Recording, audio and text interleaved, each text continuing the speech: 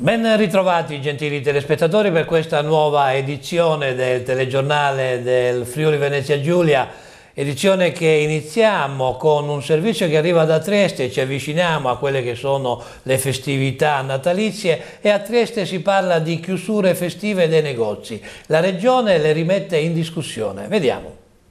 La giunta regionale corre ripari sulle chiusure festive dei negozi con un emendamento alla legge sul commercio approvata dall'Aula ed è stata introdotta fino al momento dell'approvazione del regolamento la possibilità che l'esecutivo, qualora diffuse esigenze organizzative dei comuni ne attestino l'opportunità, disponga la sospensione dell'efficacia per tutte o parte delle giornate previste, ossia il 25 e il 26 dicembre e il 1 gennaio. Domani il collegio del TAR si riunirà per confermare la sospensione del provvedimento su 26 ricorsi già decretata dal presidente Umberto Zuballi, ai quali si sono aggiunti altre due che verranno esaminati nella stessa giornata. Ci teniamo le mani libere in attesa della sentenza, ha spiegato Bolzonello, per prendere qualsiasi tipo di decisione. Non vogliamo che si creino situazioni di disparità. La Giunta potrà dunque decidere, senza tornare in aula, di sospendere o meno la norma fino al verdetto definitivo della Corte Costituzionale sull'intera partita previsto ad aprile. A tradirlo era stata una buccia di banana grazie alla quale gli investigatori erano riusciti a risalire alla sua identità e a contestargli in concorso con un connazionale ben 26 furti in abitazioni messi a segno fra Caneva ed Aviano. Ieri mattina il giudice Rodolfo Piccin ha condannato Adrian Luzzu, 25enne moldavo, a 6 anni e 10 mesi di reclusione, una pena addirittura più pesante di quella che aveva chiesto il pubblico ministero Monica Carraturo, 5 anni e 6 mesi, una condanna esemplare per un reato fra i più frequenti e temuti. Ma Luzzu, che deve scontare anche una condanna di 3 anni inflitta dal Tribunale di Vicenza senza continuazione, è irreperibile dopo essere evaso dai arresti domiciliari ai quali era sottoposto a Novate Milanese.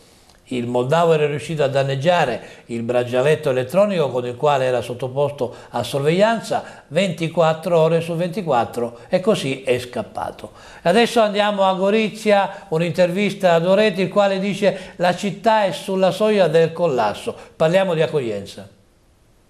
In questi due anni e mezzo di emergenza immigrazione la prefettura è sempre stata disponibile per cercare di arginare i continui afflussi di migranti. Questo, oltre ad essere un dato positivo, testimonia la vicinanza di una istituzione fondamentale come la prefettura che rappresenta lo Stato sul territorio. A dirlo è Fabrizio Oreti, capogruppo in Consiglio Comunale della lista civica per Gorizia, segretario provinciale di autonomia responsabile del Friuli Venezia Giulia. Ad oggi, dei 25 comuni della provincia di Gorizia, soltanto 8 ospitano migranti e di questi soltanto 2, Gorizia e Gradisca, hanno presenze consistenti che non stentano a diminuire, anzi ho apprezzato, evidenzia Oreti, anche l'ultimo tentativo che ha, effettuato il prefetto Alberti nell'organizzare un incontro per sensibilizzare i 17 comuni della provincia che non accolgono nessuno.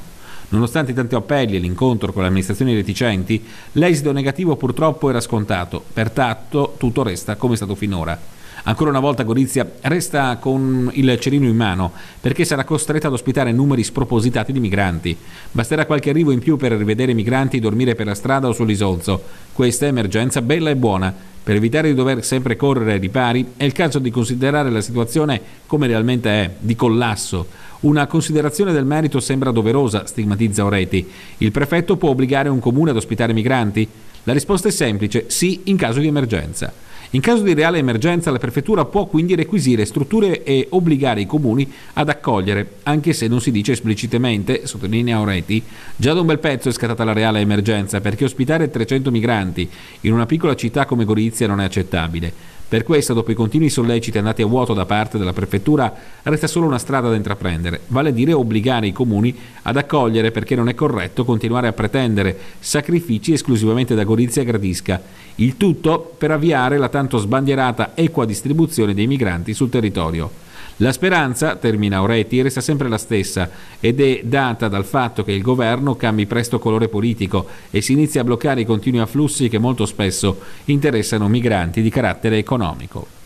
E dopo il presepe, il crocefisso e stavolta a firmare idealmente l'iniziativa è il popolo della famiglia, una delle forze di governo cittadino che compone la maggioranza. Siamo a corde nons, l'idea è insieme un monito e un invito che interessa e interesserà nei prossimi mesi tutti gli edifici pubblici, dagli uffici del comune alle aule dell'istituto comprensivo. Insomma, ogni edificio che presenti al suo ingresso la bandiera tricolore le dirette emanazioni del settore pubblico, spiega Lanfranco Lincetto, leader del popolo della famiglia e vice sindaco, devono ospitare all'interno dei loro edifici il crocefisso e deve esserci in ogni stanza.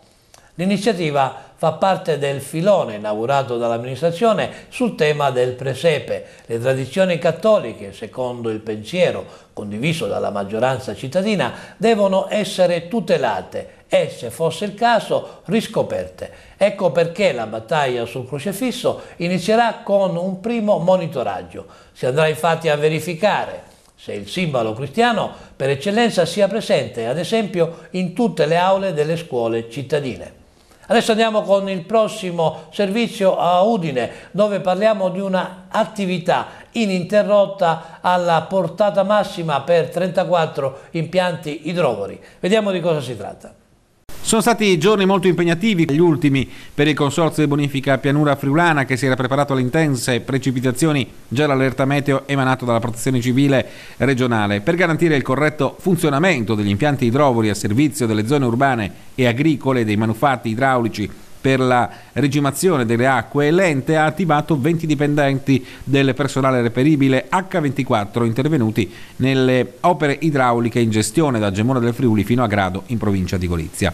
L'ente ha assicurato così la continuità del funzionamento degli impianti per lo smaltimento delle acque. Sono intervenuti alcuni blocchi degli automa- degli impianti automatici di eh, sgrigliatura che per l'intensità delle precipitazioni hanno registrato eccezionali apporti di materiale un evento che ha richiesto l'intervento di tre escavatori meccanici, oltre al personale operaio, l'intervento di protezioni termiche e differenziali dei quadri elettrici curato dal personale elettromeccanico. Le macchine hanno liberato alcuni manufatti di attraversamento che impedivano lo scolo delle acque. Per tutta la giornata di sabato e per alcune fino alle prime luci di domenica il personale si è anche alternato per assicurare il corretto funzionamento delle opere idrauliche.